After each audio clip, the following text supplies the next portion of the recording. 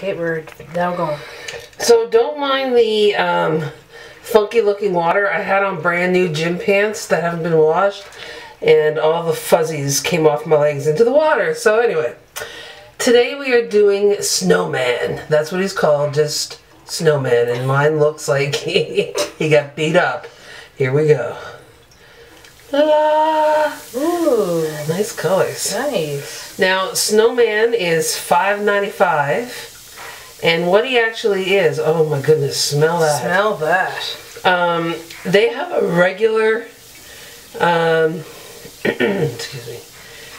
I don't know why I'm all choked up, but they have a regular called Butterball, a regular bath bomb, and this is basically the Butterball reshaped into a Santa.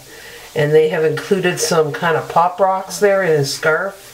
Reshaped into a snowman. Sorry, into a snowman. We just got back from a long trip. Yes. As you know, as you're If watching. you're watching the vlogs. Yes. Um, and so it is chock a block full of, you see these clumps here? Oh, That yeah. is cocoa butter. And that's going to melt in the water. So what this maybe lacks in visual joy, it more than makes up for in both the smell and how it leaves your skin. This is very, very moisturizing.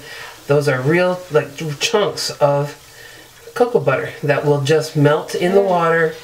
And when you get up out of the water, it of course coats your skin. You see, it looks just like melted butter.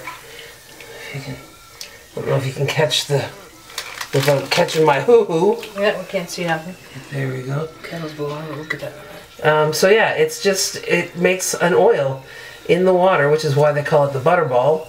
And uh, when you get up out of the water, all that clings to your skin and leaves you beautifully scented and really nice and moisturized. So that's basically it. That'll just continue to buzz down. So there you go.